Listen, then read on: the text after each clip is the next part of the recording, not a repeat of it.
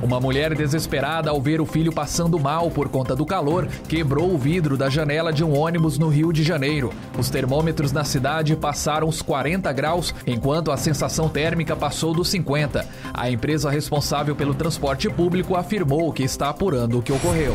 Os estados do Mato Grosso e Mato Grosso do Sul decretaram situação de emergência por causa dos incêndios florestais no Pantanal. Quatro aeronaves e 90 brigadistas reforçam o combate ao fogo a partir desta semana. Com as novas equipes, são mais de 300 pessoas atuando no Pantanal, mas a falta de chuvas atrapalha os trabalhos.